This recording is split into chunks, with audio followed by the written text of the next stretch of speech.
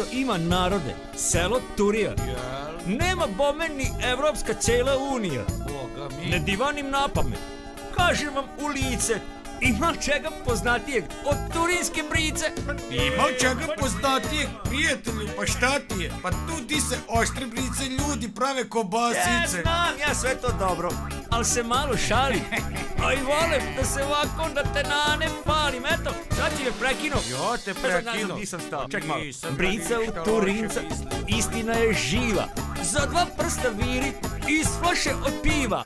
Kobasicijada poznata je svima, kobasica na sve strane koliko hoćeš ima. Od redovnih pa do one baš za girisa. Ako neko ne veruje, neka vidi sam.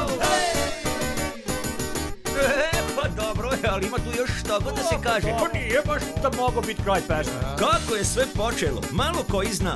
Ima tome 30 i kusur godina. Sigurno vas zanima šta te ne znati. U par reči može se ispripovedati. Zimsko veče turija, grupa prijatelja, malo vina, kobasice i puno veselja zadirkuju jedan drugom preko čašice. Koji od njih pravi najbolje kobasice? Na posledku od sve šale formirali žiri i od tog trenutka priča kreće da se širi. Kobasicijada, kako bi vam rekao, sada je čuvena i to nadaleko. Kobasicijada poznata je svima, kobasica na sve strane koliko hoćeš ima. Od redovnih pa do one baš za girisa, ako neko ne veruje, neka vidi sam.